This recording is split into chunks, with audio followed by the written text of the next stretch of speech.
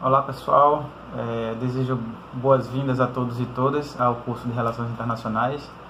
Uh, eu sou o professor Lucas Milandês de Lima Almeida, é, sou, digamos, o mais recente contratado até o momento do departamento.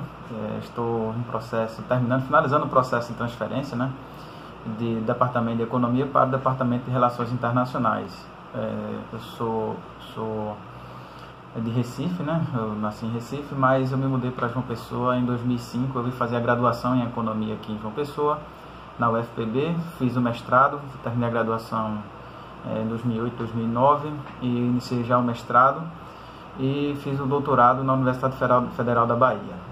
Hum, então eu comecei a lecionar aqui na UFPB é, em 2009, ainda como professor substituto, ainda também como, graduan, como graduado no caso, então tinha terminado minha graduação um concurso para substituto e eu participei desse concurso, terminei sendo aprovado e trabalhei como substituto e fiz o mestrado concomitantemente. Né? Então, ah, em 2009 iniciei ah, a lecionar aqui no UFPB. Em 2011, eh, já, já terminado o mestrado, terminei o mestrado um pouquinho, adiantei né, alguns meses o mestrado para poder fazer o concurso e concorrer a uma vaga de professor efetivo de economia. Eh, eu assumi como professor de economia efetiva é, no departamento de economia em setembro de 2011. Uh, ah, e quando foi, ainda só com mestrado, né, quando foi em 2014, eu saí para fazer o doutorado. Fui para a Universidade Federal da Bahia, Faculdade de Economia da, da Bahia, de Salvador, e fiz o doutorado na área de desenvolvimento econômico. É,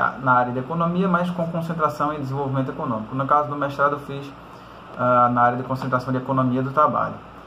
É, em 2014 eu saí, em 2018 eu retornei, defendi minha, minha tese de, de doutorado em 2018, voltei ao FPB para dar, dar aula, na verdade já voltei antes, um pouquinho antes para dar aula, não consigo ficar tanto tempo sem dar aula, mas enfim. É, a tese de doutorado ela foi defendida em 2018, em 2019 houve um concurso nacional, o Conselho Federal de Economia promove um concurso nacional de trabalhos acadêmicos e essa tese ficou em segundo lugar em 2019 é, nesse concurso de, das teses defendidas no ano anterior. Né? Uh, então, atualmente eu coordeno o, o projeto, sou coordenador do projeto, que é o projeto Globalização e Crise da Economia, na Economia Brasileira. Uh, então, esse é um projeto que busca, é um, é, na verdade é um grande projeto, né? ele é, digamos, é um guarda-chuva e dentro dele tem várias, vários subprojetos, várias, várias instâncias que atuam de formas diferentes e cada um com seu objetivo específico, mas compondo o objetivo geral do projeto.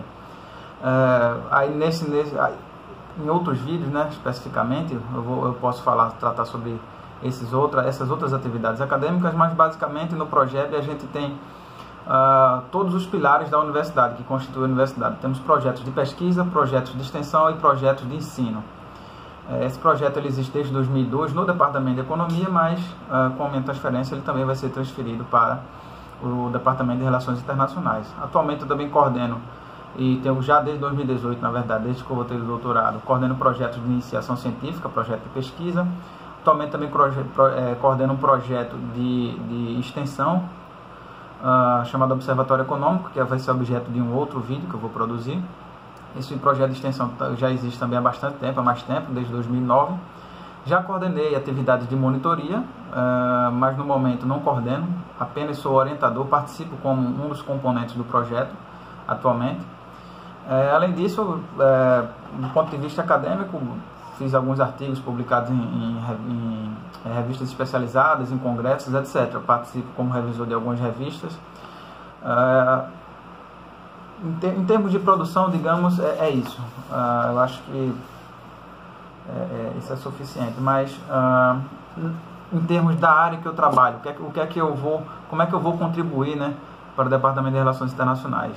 Estou chegando como professor de Economia Brasileira Contemporânea 1 e 2. É, pega o processo lá desde o modelo primário exportador até os dias atuais. Então, eu especificamente leciono nessas áreas. A economia brasileira é o objeto de estudo principal das, das minhas, dos meus estudos, todos eles uma parte deles versam sobre a economia brasileira, né?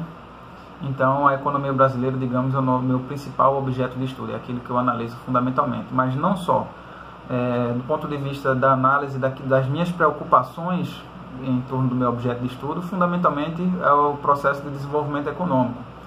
Não no sentido mais estrito, apenas de ampliação de, de renda, de riqueza, uh, e, pura e simplesmente distribuição dessa riqueza, mas sobretudo numa visão marxista, numa visão do que é o desenvolvimento social, uh, o que são o, o, que é o desenvolvimento da sociedade em determinado tipo de uh, modo de produção, um determinado tipo de formação econômico-social, eh, no nosso caso especialmente uma formação econômica dependente. Por isso também utilizo bastante eh, como fundamentação teórica dentro da economia marxista a teoria da dependência. Uh, além disso, também trabalho com a teoria das crises cíclicas de superprodução, tese desenvolvida por um professor emérito da UFPB e que foi meu orientador no, na graduação e no mestrado, a qual eu também continuo dando desenvolvimento, o professor Nelson Rosa Ribeiro. E como eu falei, a economia brasileira é o meu principal objeto de estudo, é o que eu mais analiso, mas também estudo economias latino-americanas a partir da análise do desenvolvimento desigual e combinado. Uh, eu acho que é isso. Uh, talvez a dica que eu possa dar para vocês é que aproveitem todos os momentos, absolutamente tudo que vocês puderem da, da universidade. Sei que no momento estamos no período remoto, mas uhum. quando ela voltar, uh, vocês aproveitem todas as atividades possíveis, desde as acadêmicas às extra-acadêmicas. Isso é muito importante para a formação do profissional e da pessoa que vocês vão ser a partir daqui. É, eu acho que é isso. E muito bem-vindos, bom trabalho e vamos lá.